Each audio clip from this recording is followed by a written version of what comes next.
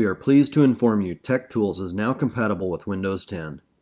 To install TechTools on a Windows 10 machine, complete the following steps. Log into Dealer Connect and navigate to Service, and under the Service Tools and Equipment section, select TechTools. Read the information provided on the new TechTools application, then select Download. When the installation file download completes, launch the installer if necessary. Follow the prompts to complete the installation of TechTools. Once the installation is complete, select Finish. You can now launch TechTools from the desktop icon. Once TechTools launches, enter your login credentials and select OK. If the DRB3 National Instrument drivers have previously not been installed, TechTools will request the installation of the drivers. Select Yes to install the National Instrument drivers.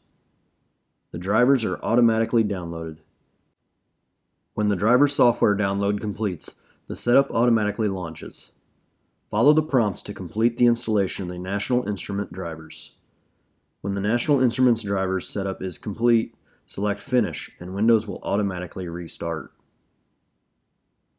When Windows has completed the restart, launch TechTools from the desktop icon. Enter your login credentials and select OK. TechTools launches and you are now up and running with TechTools on Windows 10.